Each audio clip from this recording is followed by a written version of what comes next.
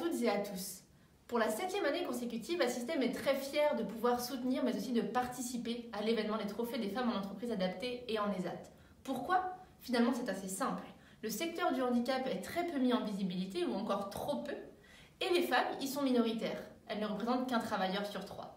Or, à l'heure où aujourd'hui la diversité et notamment le sujet de l'égalité professionnelle sont des enjeux très très forts, il faut que nous agissions. C'est pourquoi les trophées se donnent cette mission qui fait parfaitement écho aux engagements que porte un système haut et fort sur l'ensemble de son territoire d'implantation. Alors si vous aussi vous êtes convaincu que la diversité apporte richesse, performance, innovation et qu'en plus vous souhaitez en savoir plus sur comment les territoires réinventent les emplois avec équité et en faveur de l'insertion, je vous attends le 8 mars 2022 pour découvrir les profils de ces femmes extraordinaires.